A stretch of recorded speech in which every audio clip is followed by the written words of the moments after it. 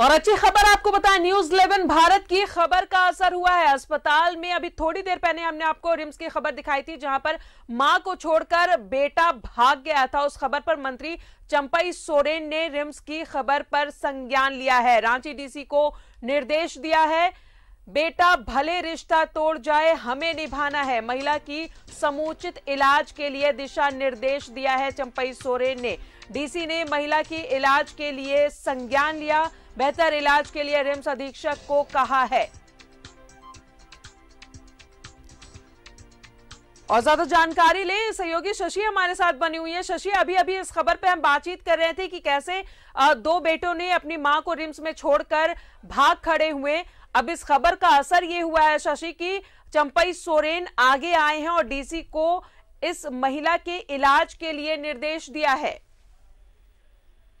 जी राजदा बिल्कुल ये हमारे लिए बहुत खुशी की बात है और न्यूज़ इलेवन भारत हमेशा से ही इस तरह के मुद्दों को दिखाता रहा है और प्रशासन को अवगत कराता रहा है कि कैसे हम हमारे समाज के कुछ जरूरतमंद लोग हैं जिन्हें मदद की ज़रूरत है और इसी क्रम में आज परिवहन मंत्री चंपई सोरेन ने आ, हमारे खबर का संज्ञान लेकर के उस महिला के इलाज के लिए सामने आए हैं।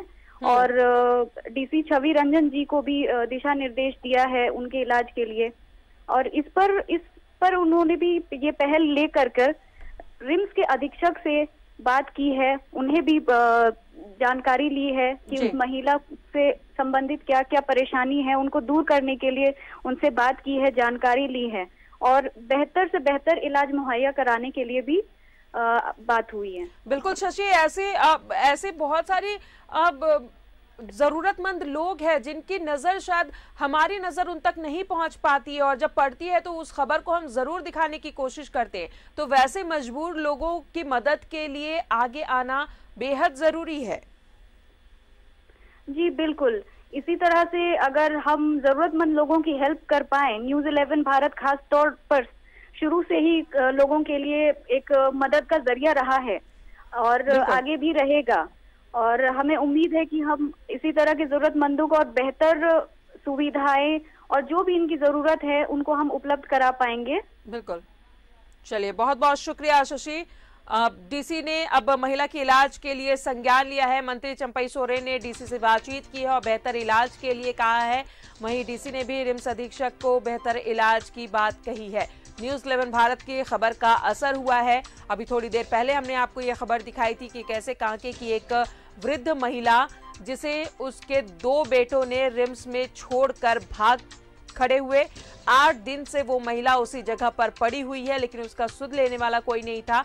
आज जब हमने ये खबर दिखाई और उस खबर का असर ये हुआ है कि मंत्री चंपई सोरेन ने इस पर संज्ञान लिया है और ये भी कहा है कि बेटा भले ही रिश्ता तोड़ दे, लेकिन हम निभाएँगे और महिला का समुचित इलाज के लिए दिशा निर्देश दिया है। मंत्री चंपई सोरेन ने।